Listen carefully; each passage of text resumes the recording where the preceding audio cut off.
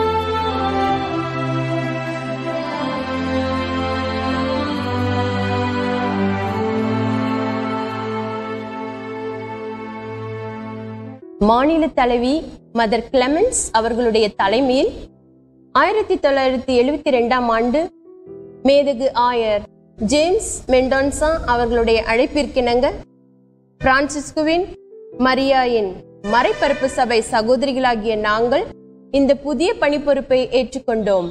இயேசுவின் சீடர் புனித தோமையார் மறைந்த பத்தொன்பதாவது நூற்றாண்டு விழாவானது ஆயிரத்தி தொள்ளாயிரத்தி எழுபத்தி ரெண்டில் கொண்டாடப்பட்டதால் திருச்சியிலுள்ள கிராப்பட்டியில் அதே ஆண்டு அக்டோபர் ஏழாம் தேதி அன்று தொடங்கப்பட்ட இவ்வில்லமானது கைவிடப்பட்டோருக்கும். தீராத நோய் கொண்டோருக்குமான புகலிடம் புனித தோமையார் கருணை இல்லம் என்ற பெயரைக் கொண்டே தொடங்கப்பட்டது.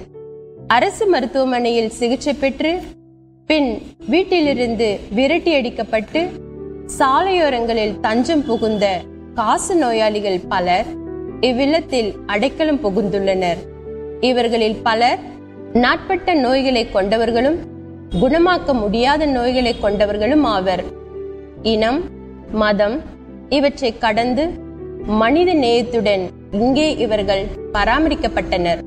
எங்களது இல்லத்தில் வாழும் ஒடுக்கப்பட்டோரின் நலன் கருதி புனித பவுல் குருமட மாணவர்கள் பள்ளி கல்லூரி மருத்துவ நிறுவனங்கள் பங்கு மக்கள் வாழ்வது ஒருமுறை வாழ்த்திட்டும் தலைமுறை என்ற மனப்பான்மை கொண்ட நல்லுள்ளம் கொண்டவர்கள் அனைவரும் இன்றும் உடன் உழைப்பாளர்களாக உதவி வருகின்றனர். இத்தகைய மக்களோடு இணைந்து வாழ்ந்து அவர்களுக்கு பணியாற்றுவது என்பது ஒரு சவாலாக இருப்பினும் மன மகிழ்ச்சியை தருவதாகவும் அன்பர் இயேசுவின் பணிகளை தொடர்ந்து நிறைவேற்றி வருவதான மன நிறைவையும் தருகின்றது.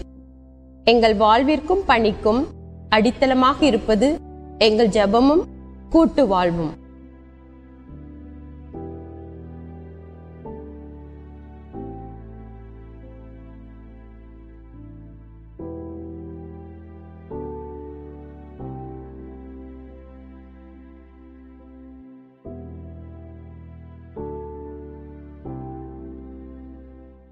ஒரு சிறிய இடத்துடன் பழைய கட்டிடம் ஒன்றை மேதகு ஆயர் அவர்கள் வழங்கினார்கள். மிகுந்த இரக்கமும் பொறுமையும் தேவைப்படும்.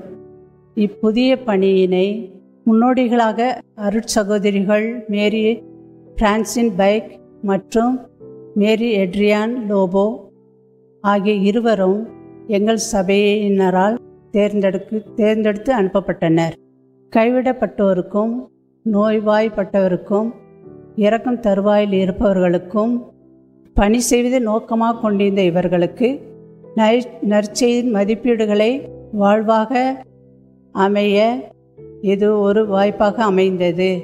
முதலில் கண் தெரியாத மூன்று பெண்கள் இவ்வில்லத்தில் சேர்த்து கொள்ளப்பட்டார்கள். அதில் ஒரு பெண் இறந்த பின் பக்கவாதத்தால் பாதிக்கப்பட்டு கவனிப்பாரற்று சாலை ஓரத்தில் கிடந்த ஒரு இஸ்லாமிய சகோதரரை முதல் முறையாக இவ்வில்லத்தில் ஏற்றுக்கொண்டார்கள். அரசு அதிகாரிகளும் திருச்சபை தலைவர்களும் என் சபை தலைவிகளும் அடிக்கடி இவ்வில்லத்திற்கு செய்து கொண்டு வருகின்றனர்.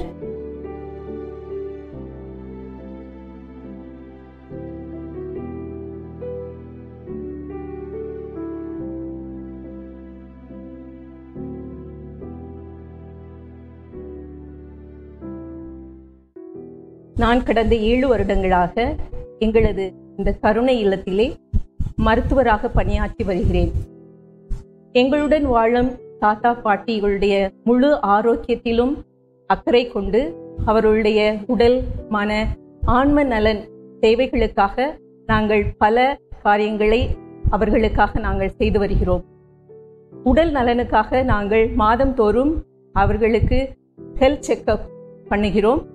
அவற்றிலே அவர்களுடைய எடை மற்றும் இரத்த அளவு இரத்த அழுத்த அளவு இரத்த சுகர் சர்க்கரை அளவு ஆகியவற்றை கண்டறிந்து அவர்களுக்கு தேவையான மருந்துகளை பரிந்துரை செய்கிறோம்.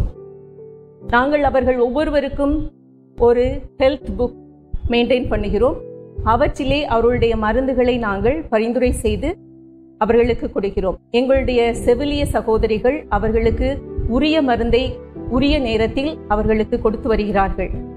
அவர்கள் ஒவ்வொருவரும் முழு ஆரோக்கியம் பெற அவர்கள் மனநலனுக்காகவும் எங்களுடைய சகோதரிகள் அவர்கள் கவுன்சிலிங்க்கு ஹெல்ப் பண்ணுறாங்க. ஒவ்வொருத்தரும் அவர்களை பார்த்து அவர்களுடன் பேசி அவர்கள் நலனில் அக்கறை கொண்டு அவர்களுடைய துக்கங்களை கண்டறிந்து அவர்களுக்கு கவுன்சிலிங் கொடுக்கிறார்கள்.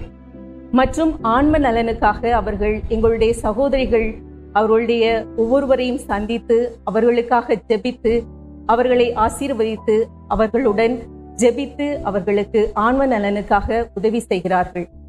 ஒவ்வொருவரும் எங்களுடைய இந்த மன உடல் மன ஆன்ம ஆரோக்கியத்திற்கு உதவி செய்வதற்காக எங்களுடைய குழந்தை இயேசு மருத்துவமனையிலிருந்தும் ஒரு டீம் வந்து எப்போதும் எங்களுக்கு உதவுகிறார்கள். செவிலியர்கள் மற்றும் உதவியாளர்கள் செவிலியர் மாணவிகள் குழந்தை இயேசு செவிலிய கல்லூரியிலிருந்து வந்து அவர்கள் விழிப்புணர்வு கல்வி அவர்களுக்காக வழங்குகிறார்கள்.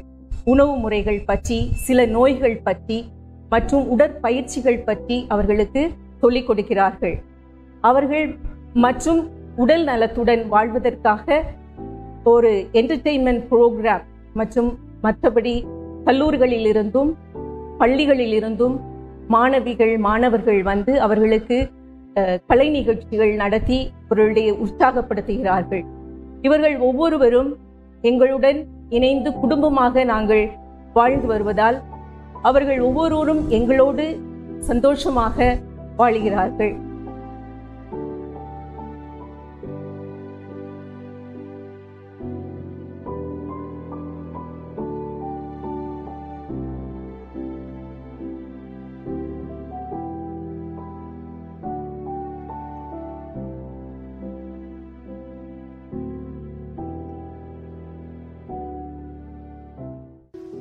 நாங்கள் எல்லாரும் ட்ரிச்சி கண்டோன்மெண்ட்டில் உள்ள அமெரிக்கன் காலேஜ்லேருந்து வந்திருக்கோம். எங்கள் நாங்கள் எல்லாருமே வந்து இங்கே வந்து அடிக்கடி ப்ரோக்ராம் கொடுப்போம். நாங்கள் கொடுக்குற ப்ரோக்ராம் எல்லா ப்ரோக்ராம் எல்லாருமே வந்து அவங்களுடைய உடல்நலத்துக்கு முன்னேற்றத்துக்கான ஒரு ப்ரோக்ராமாக தான் இருக்கும். நாங்கள் கொடுக்குற எல்லா ப்ரோக்ராமே மந்த்லி ஒன்ஸ் கொடுப்போம். நாங்கள் வந்து ஒரு ஒரு கிளாஸாக வந்து நாங்கள் நா- நாலு வருஷம் படிச்சுட்டு இருக்கோம். நாலு வருஷத்தில் வந்து முதலாம் ஆண்டு மாணவிகள் இரண்டாம் ஆண்டு மாணவிகள் வந்து ஒரு ஒரு பேட்சாக வந்து ப்ரோக்ராம் கொடுத்துட்டு போவோம். இந்த ப்ரோக்ராம்லாம் வந்து அவங்களுடைய உடல் ரீதியான மாற்றங்களை எப்படி முன்னேற்றிக்கலாம் அவங்க எப்படி சமாதானமாக இருக்கலாம் ஒற்றுமையாக இருக்கலாம் இதை கொடுத்து அவங்களுக்கு ஒரு ப்ரோக்ராமாக கொடுப்போம். ப்ரோக்ராம் மட்டும் இல்லாமல் சின்ன சின்ன டான்ஸ் ஒரு என்டர்டைன்மெண்ட் எல்லாமே அவங்களுக்கு கொடுத்துட்டு போவோம். எங்களுடைய மாதாந்திர மருந்து தேவைகளுக்காக திருச்சி அப்போலோ மருத்துவமனையிலிருந்து மருந்துகள் கொடுத்து உதவுகிறார்கள். மற்றும் குழந்தையேசு மருத்துவமனை மற்ற அதிகமான சிகிச்சை அளவுக்காக அவர்கள் எங்களுக்கு உதவுகிறார்கள். தாத்தா பாட்டிகளுடைய மற்ற தேவைகள் கண் அறுவை சிகிச்சை மூட்டு மாற்று அறுவை சிகிச்சை இதுக்கெல்லாம் குழந்தை இயேசு மருத்துவமனையில் நாங்கள் அவருடைய உதவியை நாடுகிறோம். எங்களுக்கு ஏதாவது அவசர எமர்ஜென்சி தேவைப்பட்டால் எங்களுக்கு ஆம்புலன்ஸ் உதவி உள்ளது. அதிலிருந்து நாங்கள் தாத்தா பாட்டிகளை கொண்டு சென்று மற்ற ஹாஸ்பிட்டல்களில் அவர்களுக்கு சிகிச்சை அளிக்க ஆம்புலன்ஸ் உதவி எங்களுக்கு மிகவும் உதவியாக உள்ளது.